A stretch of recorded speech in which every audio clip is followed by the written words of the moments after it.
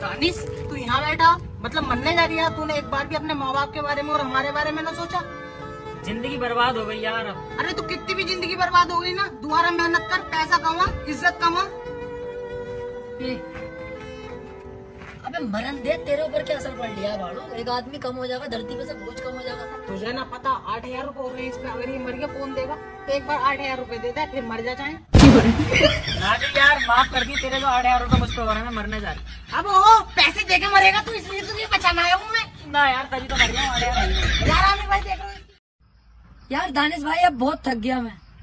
घर में घुसता हूँ तो हर टाइम पापा यही कहते हैं कमाता नहीं कमाता नहीं कमा दिन रात यही नालतियाँ देते हैं यार। हाँ यार तो अब तो तुम कमाना स्टार्ट कर दो। ना ना अब तो मुझे आदत है सुनने की। ए यार बिल्कुल जलीली हो गई कमाओगे फिर भी ना? कमाऊँगा ना यार मैं देखता हूँ पापा कहते रहते हैं थक जाते हैं। कहते रहो हमका क्या फ़र्क पड़ लिया हमारा फ़र्ज़ है।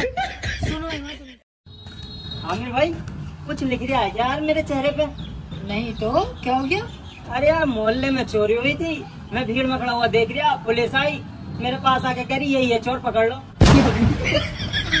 सलाम मसी पड़ी है ना तुम्हारे अंदर थोड़ा ध्यान दो अपना यार अब जाऊँगा शॉपिंग करने फिर छड़ गई पुलिस आमिर भाई देख रहे हो लियाकत की तीन मंजिला बनाया एक करोड़ों रुपए लगा दिया घर बनाने में। अबे भैया वो खेले भी तो जुआ है बेहिसाब पैसा कमा लिया। तुम भी जुआ खेलने लगो तुम भी कमा लोगे।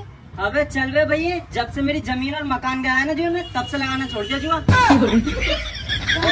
लगा दे भी किस चीज़ को बचा ही क्या तुझको फिर? फिर कपड़े मांगे हुए दिखे ना यार ये तो वैसे मैंने खरीद के रख लिए जुए से पहले।